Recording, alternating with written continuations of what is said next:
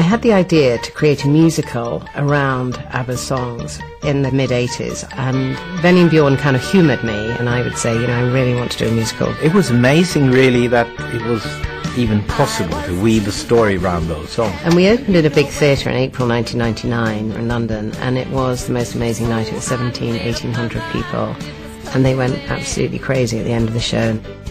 From day one, people were dancing in the aisles and all of that. Mamma Mia has a real kind of build and an energy. I didn't have a clue that it would be a worldwide success. Mamma Mia begs to be a movie. There's a feeling when you see the show that you kind of want to be there. You kind of want it to open up. You want to see the sea. You want to get away from the set. It's set on a magical island. It was bursting to get off the stage. Mamma Mia, does it show again? I have got the most incredible cast imaginable. Oh my God! We always had lent towards Meryl Streep to play Donna, the lead character.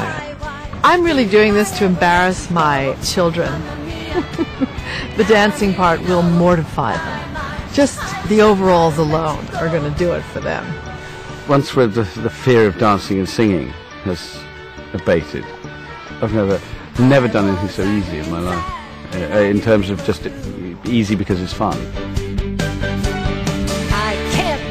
To be on a Greek island, to be with a bunch of actors who you really like and respect and admire, and to have a, such a lovely ease in playing the characters.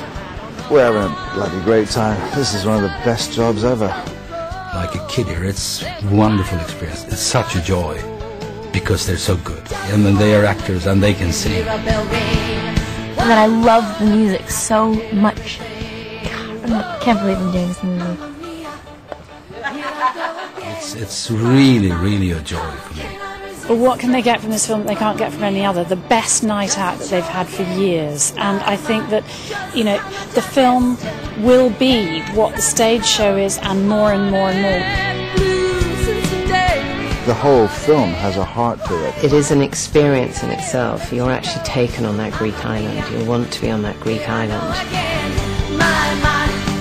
The Mamma Mia experience that has been created and given so many people joy on the stage, I think it's bled into this film. I want to